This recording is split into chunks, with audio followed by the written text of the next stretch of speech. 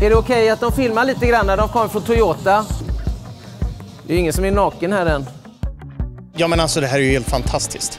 Toyotas satsning för att lyfta paralympier, både topp och bredd, är helt magiskt. Kommer göra hur mycket som helst för Sverige. Jag tror verkligen, verkligen på den här idén.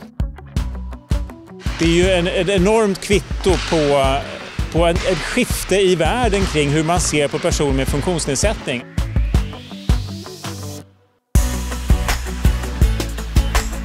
Men sen är det lika viktigt för Toyota att också visa att man satsar på bredd. Det vill säga rätten för alla barn och ungdomar att få komma i rörelse.